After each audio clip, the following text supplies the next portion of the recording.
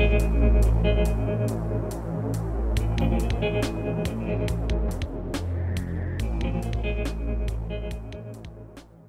guys, welcome to this Team of the Season Jayson Leutwiler re review. If we can smash 20 plus links guys, we also for more as a if you're new to the channel, please subscribe and follow me on Twitter at GISALEGEND. As we said guys, Leutwiler was in my Team of the Season review squad and I sent for four other Team of the Season players. He plays for Shrewsbury Town in Football League 2, who are now obviously promoted. He has 63 diving, 65 handling, 60 kicking, 67 re reflexes, 61 speed and 70 positioning.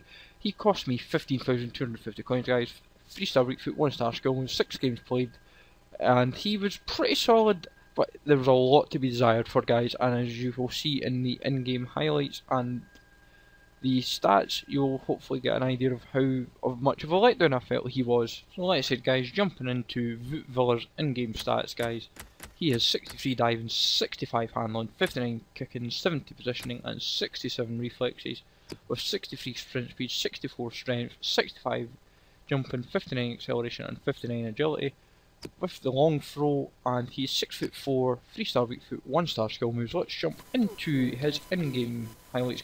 Into the, what I was saying guys, he was literally making so many saves throughout the game but he was making so many times where I was getting caught out time and time again and there was shots where he wasn't even trying to save them or he was out of position and I was like seriously you're driving me nuts like, there's so many flaws about him. I know he's a bronze goalkeeper, but if I'm being, like, with a team of the season goalie, generally they'll maybe have, like, some super boosted stats, but he, he was generally very ordinary. He's like a high rated bronze that's like the, like the 64 bronze goalkeeper with all round stats, but that's about it. There's he was making a lot of good saves, as I said, guys, but he was not as good as I thought he was going to be. Because I thought maybe he'd be all round and he'd be able to make a lot of good saves and everything. But he conceded more than he did, which was really a bit annoying. And like, I'm not trying to make him concede more. It's, it's like with the kind of team I had, and even though the teams I was playing I had quite a lot of gold teams, he was still getting found out, which was really annoying. But when it came to the penalty shootout, that was kind of like a good test for him.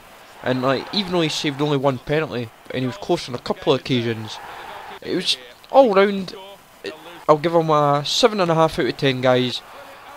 Hopefully you've enjoyed this. For 15k he's not worth it. I think now he's down to about 10s, 10 to 12k so it's not so bad for an Xbox.